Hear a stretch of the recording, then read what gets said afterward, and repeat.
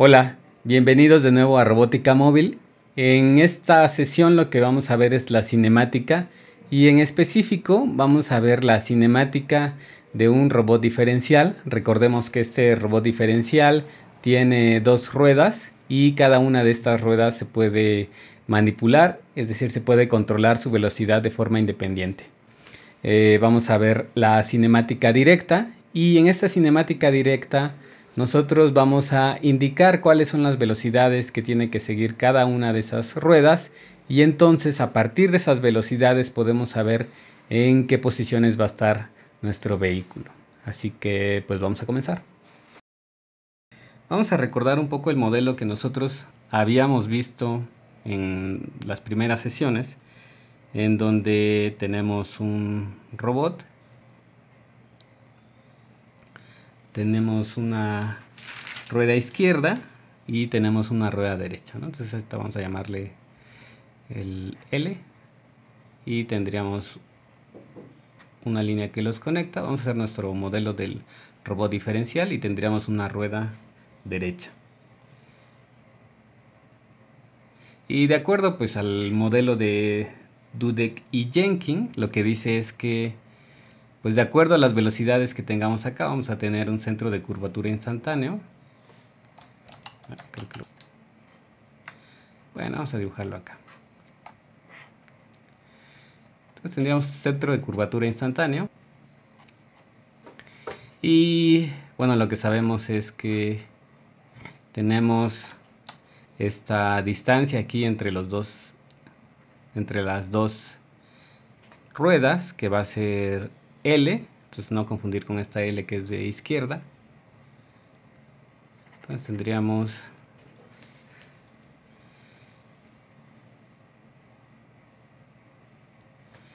de una distancia L aquí entre las dos ruedas y tendríamos una distancia desde el centro de curvatura hasta el centro de las ruedas que se va a llamar como R mayúscula. Ok.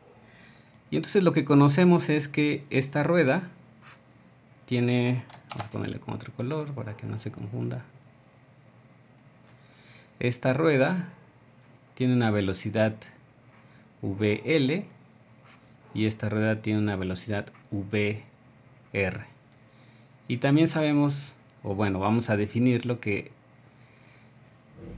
que este robot está girando con respecto del centro de curvatura instantáneo con una velocidad omega. Bien. Entonces, eh, pues ya tenemos nuestro modelo de Dudek y Jenkins. Y pues vamos a recordar un concepto que es de velocidad tangencial. Y entonces en este concepto de velocidad tangencial, si tenemos, eh, digamos, una barra, tenemos un punto en el que rota esta barra. La velocidad tangencial sería la velocidad que tenemos en este punto acá. Vamos a, nombrarle B.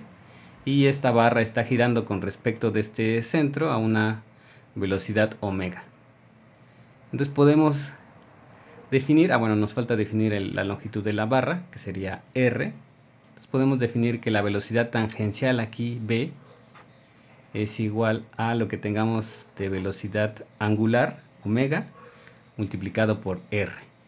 Entonces, partiendo de este modelo más simple, lo que nosotros podemos deducir es que pues esta velocidad que nosotros tenemos aquí, BL, BL va a ser igual a esta velocidad que, en la que está girando, que sería omega, multiplicado por la distancia que tiene hasta este punto donde está la rueda izquierda. Entonces, eh, pues ese punto hasta donde está la rueda izquierda sería R, que sería hasta el centro, menos L sobre 2. Entonces aquí tendríamos eh, R menos L sobre 2. Y para la velocidad derecha lo que tendríamos es velocidad en R igual otra vez a omega por e, R como está más allá de R entonces va a ser más L sobre 2. Y hasta ahorita pues no sabemos exactamente, bueno, no hemos definido cuánto vale R.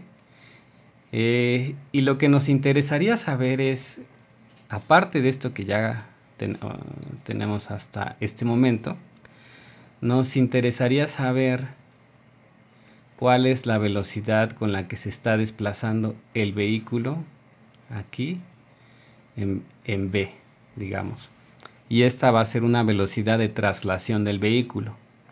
Y la velocidad de rotación del vehículo eh, sería igual a esta velocidad con la que está girando eh, con respecto del centro de curvatura instantáneo.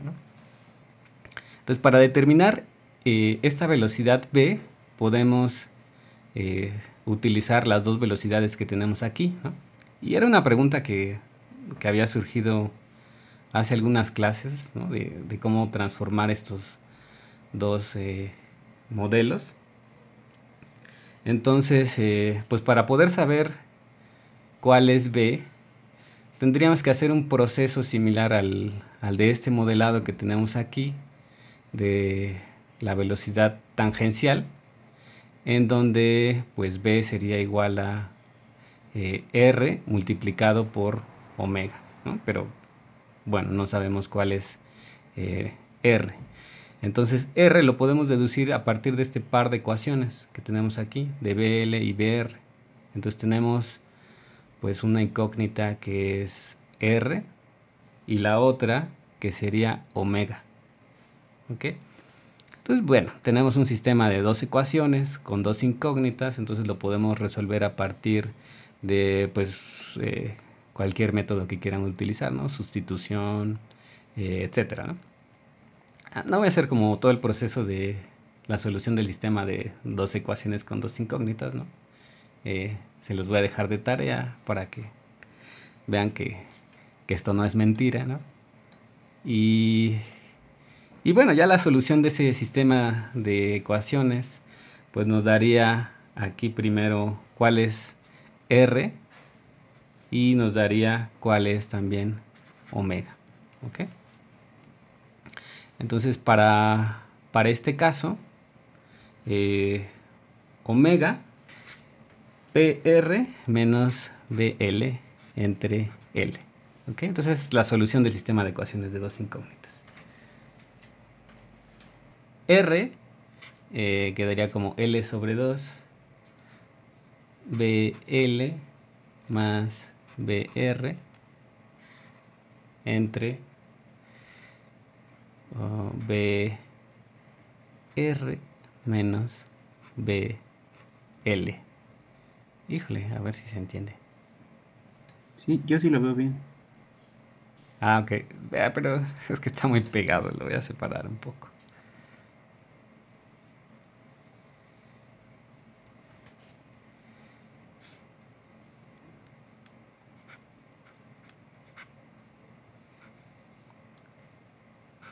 Ok.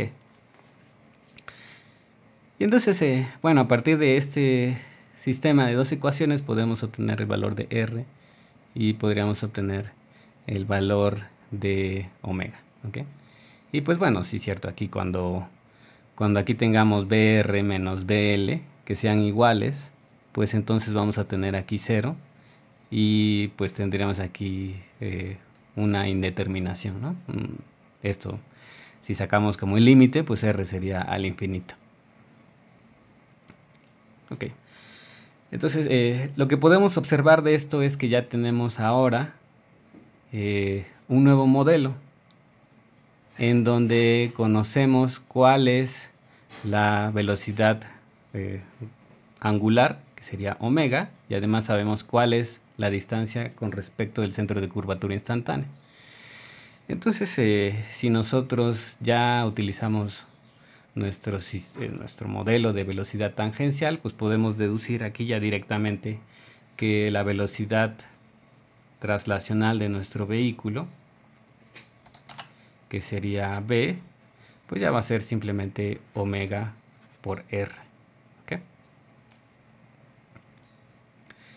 Y esto es una forma de convertir entre un sistema de dos ruedas a un sistema que vamos a llamar aquí,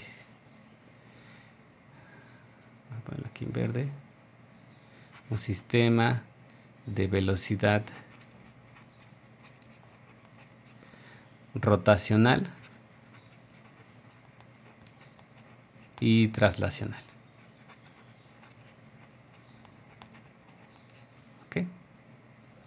Entonces ya tenemos aquí eh, un modelo más simple que podemos utilizar. Bien. Entonces ahora lo que vamos a hacer es utilizar este modelo que tenemos de rotación y traslación para estimar cuál sería el desplazamiento de nuestro vehículo. vamos a poner aquí desplazamiento.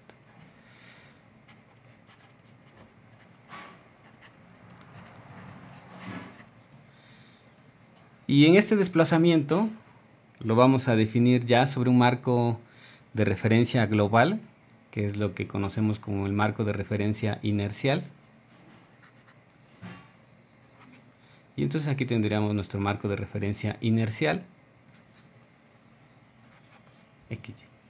Y entonces ya vamos a considerar a nuestro robot como un punto, aquí este punto, que tiene una cierta orientación. Entonces, pues ya nuestro robot que va a estar en ese en ese marco inercial tendría aquí su coordenada X, su coordenada Y y tendría una orientación hacia la que está pues apuntando el robot, ¿no? Hacia el que está viendo de frente. Entonces tendríamos que pues aquí prolongamos esto tendríamos que este ángulo eh, vamos a nombrarlo como teta ok entonces en el sistema eh, cinemático pues lo que nos interesa es saber cuál es el movimiento del, robot ¿no? si recordamos como la definición de, de física pues es el estudio del movimiento sin atender a las causas que lo originan. Entonces vamos a definir primero eh, la configuración del robot y la configuración del robot la vamos a nombrar como Q. Entonces vamos a decir Q es igual a sus parámetros X, Y y teta. Entonces a esto le vamos a llamar configuración.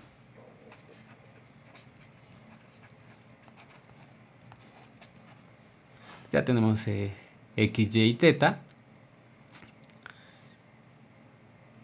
Y entonces ahora nos interesa definir cuál es eh, el desplazamiento de ese robot dentro de este marco de referencia. Y para eso pues vamos a utilizar eh, una ecuación que se llama ecuación de transición.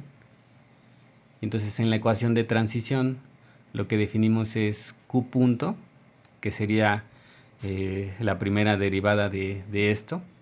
Entonces Q punto nos va a decir cuál es la tasa de cambio de la posición que tiene. Entonces Q punto lo vamos a definir a partir de una función que va a recibir eh, el, el estado de configuración Q y la velocidad que nosotros estemos aplicando. De forma eh, general, en lugar de velocidad, eh, se utiliza la variable u, indicando que es control. Entonces, eh, en algunos lados van a encontrar u, que indica cuál es el control o las entradas que se están metiendo al sistema. En este caso, pues lo que nosotros vamos a estar modificando aquí en este sistema, pues son lo que nosotros, lo que ya definimos, que es la velocidad omega y la velocidad traslacional. Entonces tenemos U igual a estos dos elementos que nosotros estamos modificando.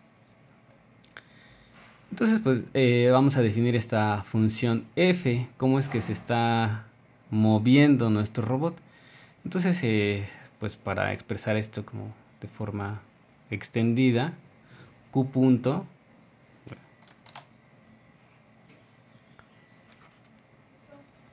sería igual a x punto, y punto y teta punto. ¿Ok? Entonces, ¿eso a qué sería igual? Entonces vamos a analizar el primer caso que tenemos de x punto. ¿Ok? Entonces ya sabemos que tenemos esta velocidad aquí b que va hacia el frente y además eh, conocemos otra velocidad. Ah, las voy a poner en rojo para que conocemos b y conocemos omega. Entonces eh, nos interesa saber cómo es que se está desplazando con respecto del eje x ok y entonces quién nos puede decir eh, cómo es que se está desplazando en el eje x exacto entonces eh, descompondríamos cuál es eh, este, pues es un vector y entonces buscaríamos cuál es su componente sobre el eje X, ¿no? Y entonces pues eso sería a, B multiplicado por coseno de teta. Entonces tendríamos exacto B coseno de teta, ¿no? Aquí tenemos este ángulo teta y entonces pues nos interesa aquí este cateto, ¿no? Que sería cateto adyacente. Entonces tendríamos b coseno de teta y eso sería cómo se está desplazando aquí en x. Lo haríamos de forma similar para calcular cómo se está desplazando aquí en y. Y entonces lo que tendríamos es otra vez que descomponer la velocidad b, eh, pues eh, en este caso sobre y, y pues tendríamos b seno de teta. Y luego tendríamos cómo es que está rotando en sitio, ¿no? ¿Con cuál sería la velocidad rotacional? En este caso la velocidad rotacional pues es igual a lo que nosotros estamos indicando aquí en el control. Entonces sería omega. Entonces ya tendríamos definido que nuestra ecuación de transición sería esta, ¿no? Tendríamos que Q punto es igual a esto que, a esto que tenemos aquí. Bien.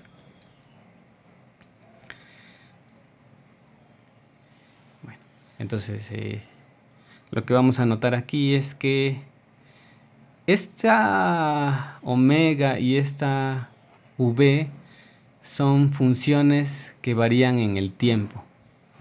Entonces vamos a tener una omega que va a depender del tiempo. Y vamos a tener una b que va a, depender del tiempo. ¿Qué significa esto? Pues que nosotros eh, podemos estar especificando en cada instante de tiempo cuál es la velocidad traslacional que queremos y cuál es la velocidad rotacional que queremos. ¿Cuál va a ser el efecto de que nosotros podamos eh, modificar estas cosas? Que voy a dibujarlo otra vez acá.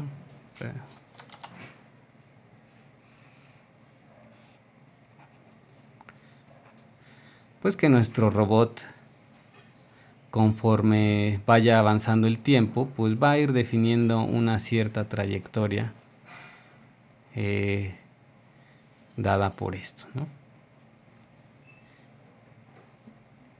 Y pues bueno, ¿cómo sabemos cuál es el, esta trayectoria que nosotros estamos definiendo aquí? O bueno, que, va a depender de estas dos funciones que nosotros vayamos especificando acá.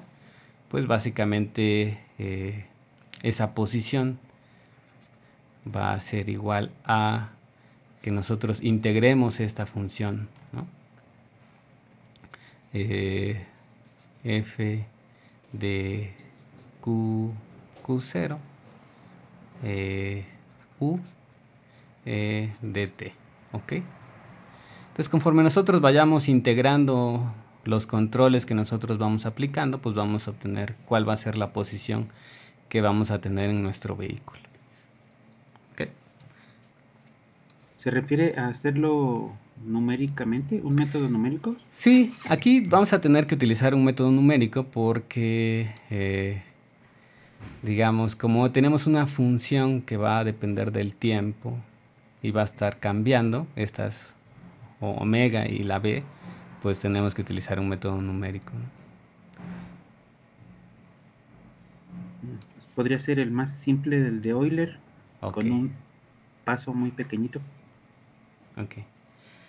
Bien, entonces eh, lo que vamos a utilizar es este Euler, Y pues en este método de Euler lo que vamos a ir haciendo es una aproximación de cuál, cuál es eh, el incremento dado un paso. Entonces, eh, pues para recordar un poquito. Euler, lo que suponemos es que tenemos un punto, ¿ok? Eh, en este punto conocemos cuál es la derivada en este punto que digamos esa sería la posición este es el tiempo y vamos a colocar un delta t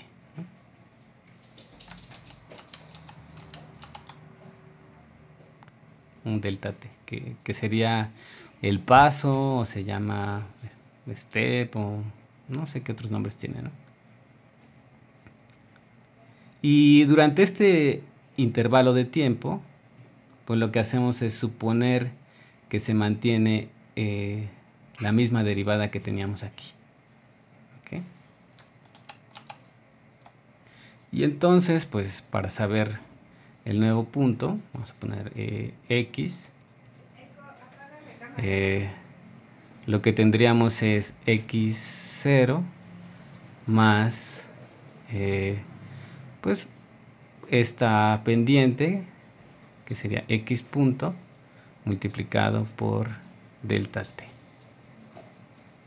Entonces está pendiente, vamos a ponerle aquí x punto. Entonces conforme nosotros vayamos haciendo estas integraciones, pues lo que nos va a dar es cuál es el siguiente punto aquí.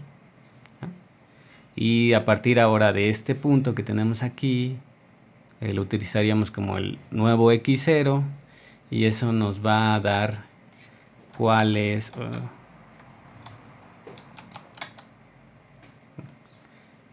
cuál es el siguiente punto.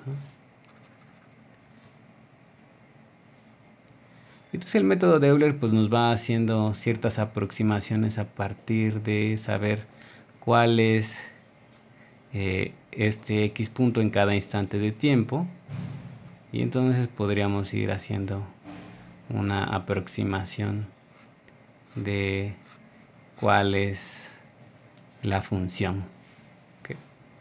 Eventualmente, en dependencia de este paso, pues iba a haber como una separación de la función original, que a lo mejor la función original pues es algo así. Y pues debido a que estamos haciendo esta suposición de que la pendiente durante todo este intervalo aquí que tenemos aquí es la misma, pues va a haber una ligera diferencia, ¿no? Va a depender del tamaño del paso. Ok.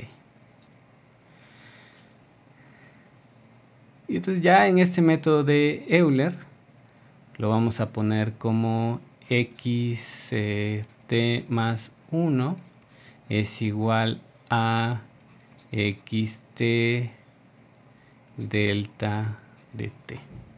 Eh, ah, xt. Ah, aquí me faltó, pero.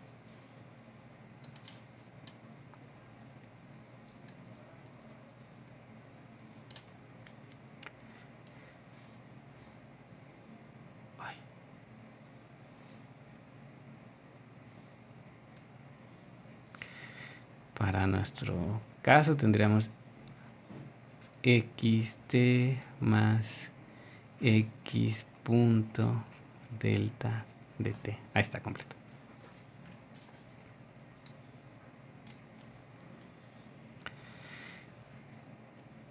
Entonces lo que nos interesa saber cuál es la siguiente posición que sería el x. Voy a omitir el t más 1, porque tenemos xy, t más 1, teta en t más 1.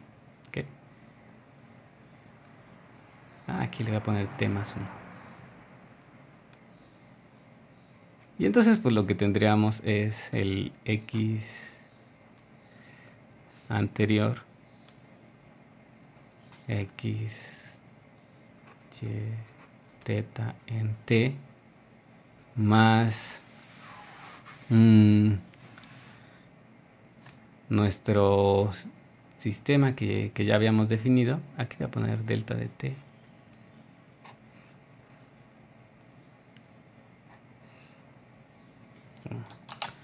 Bueno, habíamos dicho que teníamos eh, B coseno de teta, Y seno de teta y omega. ¿Ok? Es también B seno de teta. Ah, sí.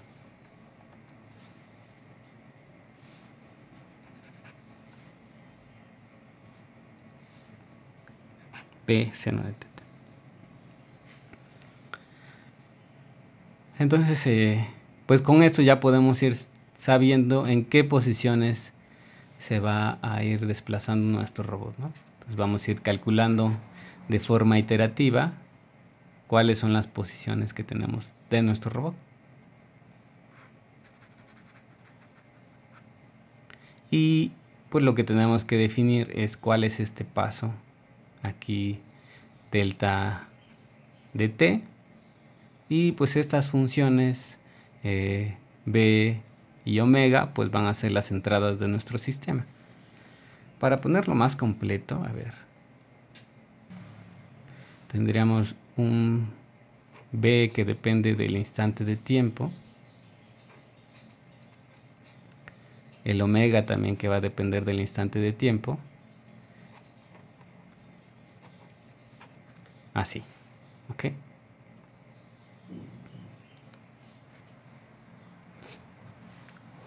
Entonces, pues, pues básicamente ese es el modelo cinemático que tenemos para nuestro robot móvil. Entonces, pues ya se imaginarán a, dónde vamos, ¿no? Con la tarea. Resulta que en pues en una tarea anterior ya definimos nuestro robotcito no, yo tenía ahí un triángulo. Este robotcito que era un triángulo, pues tenía una posición inicial. Q0 es igual a X0, Y0, teta 0. ¿Ok? Que sería esta posición aquí. Y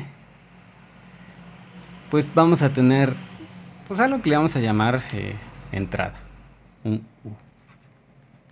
Y nuestra entrada va a ser la velocidad traslacional y la velocidad rotacional, omega. Estas pueden cambiar en, en, el tiempo, sin embargo ahorita la vamos a, dejar fija, ¿no?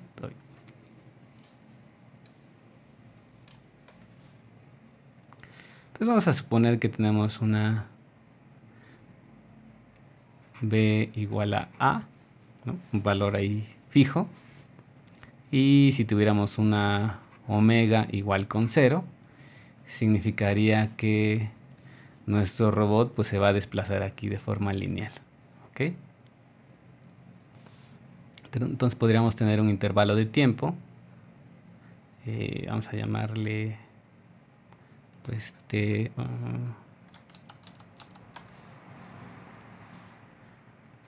T max durante 10 segundos. Durante 10 segundos nuestro robot se va a desplazar hasta que llegue a una nueva posición, que eventualmente sería esta posición.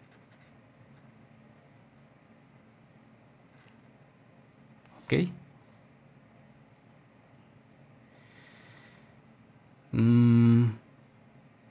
Entonces, pues lo que hay que hacer es el proceso de integración.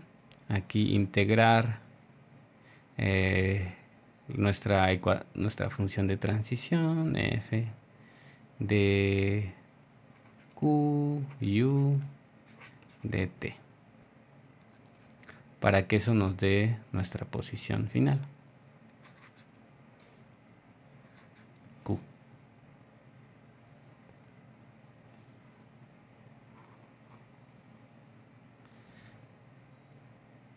¿Ok? Y pues bueno, ¿qué vamos a utilizar aquí? Pues método de Euler.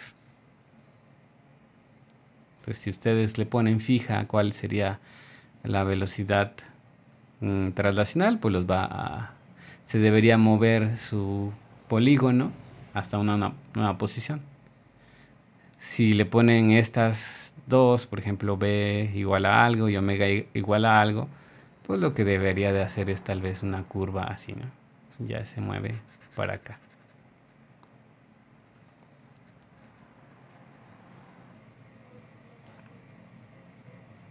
Ok. Em, pues bueno, entonces yo creo que pues aquí le vamos a dejar en la clase.